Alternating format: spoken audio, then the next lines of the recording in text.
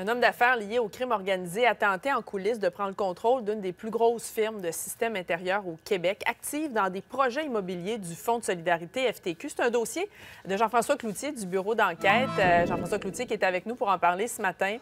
Salut. Salut, Auré. On avait vu ça pendant la commission euh, Charbonneau, euh, le fonds FTQ qui avait été éclaboussé pour ses liens donc avec des proches du crime organisé. Ça le hante à nouveau, là?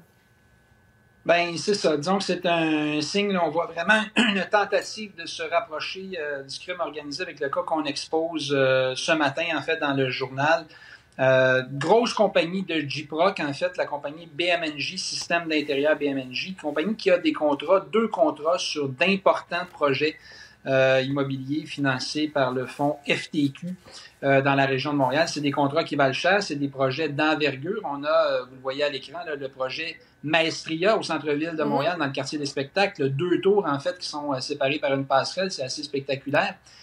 Et euh, également un autre projet euh, sur la rive sud, le projet Solar à l'angle des autoroutes 10 et 30. encore une fois, un gros, gros, gros projet, un projet de plus de 3 milliards de dollars à terme, financé par le fonds FTQ qui donne des crédits d'impôt pour les Québécois qui veulent investir dans le fonds. donc, BMNJ a des contrats sur ces deux projets-là. Et euh, ce qu'on a appris là, dans les euh, dernières semaines, en fait, c'est que c'est l'homme d'affaires Réal Dallaire, en fait, un homme d'affaires qui est lié au crime organisé, qui aurait commencé à contrôler euh, la compagnie selon des allégations dans une procédure. Il aurait tenté de faire l'acquisition de BNNJ il y a quelques, quelques semaines de ça.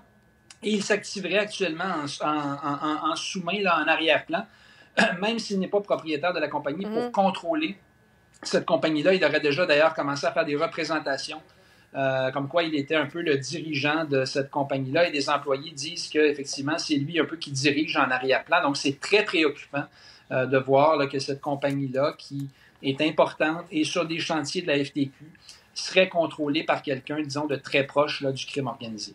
Et Réal Dallaire, tu en as parlé un petit peu, là, un homme d'affaires lié au crime organisé, mais est-ce qu'on en sait plus sur qui il est principalement, cet homme-là?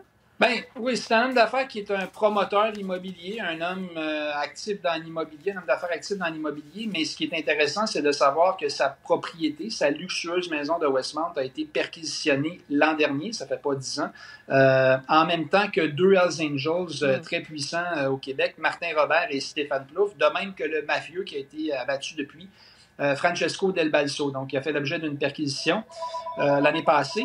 Et euh, autre chose euh, qui est assez importante, en fait, c'est qu'il a des antécédents de fraude, plusieurs antécédents euh, criminels. Et il a également été un des principaux actionnaires de la firme Carboneutre, en fait, qui avait été nommé à la commission Charbonneau comme étant au cœur d'une infiltration du crime organisé dans mhm. l'économie légale. Donc, c'est quelqu'un qui a vraiment une accumulation d'éléments qui permettent de le relier au crime organisé. Sa maison, en fait, à l'Estérel aussi, avait été visée par un incendie criminel en 2019 le fonds FTQ répond quoi euh, à, tout ça, euh, Jean-François? Alors, le fonds FTQ, hier, euh, en fait, lundi, nous a quand même indiqué qu'effectivement, BMNJ était un sous-traitant.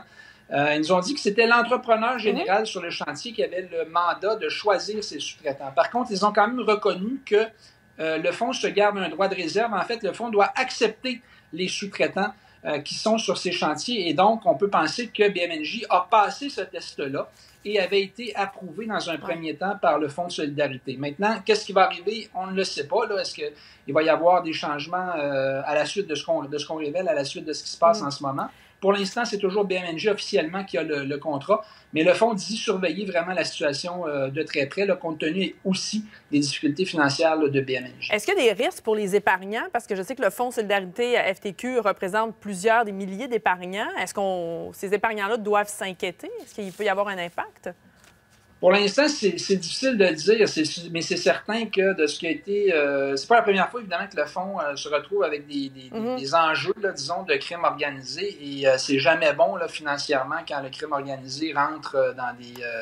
Dans, des entreprises. Donc, oui, je pense qu'on peut penser qu'il y, a un certain risque. À ce stade-ci, c'est très difficile de le quantifier.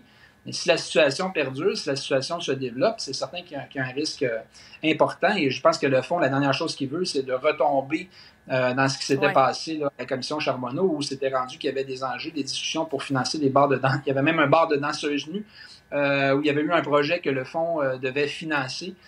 donc, effectivement, c'est vraiment pas, c'est vraiment pas, de bonne augure, disons, pour, pour le rendement des, des, des, actionnaires du fonds. Jean-François Cloutier du bureau d'enquête, merci beaucoup d'avoir été là. Ça m'a fait plaisir. Salut. Merci.